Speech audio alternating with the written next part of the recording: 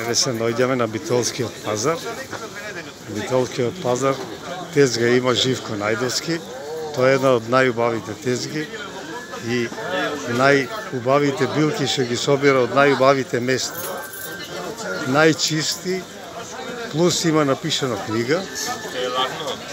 Покрај има книга напишано, прави многу лекови за сите болести.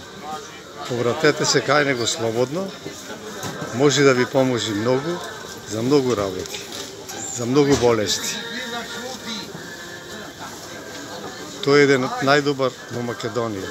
Секој ден го барат, пушта за стравство, лекови, прави чајови, различни, разни.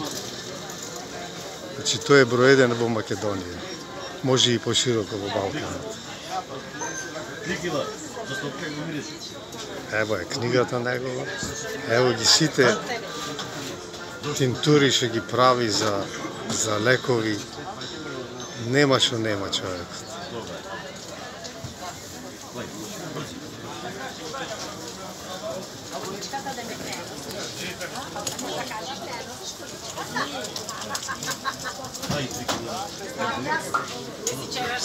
Ови билки се берени од најубавите места, најчистите места.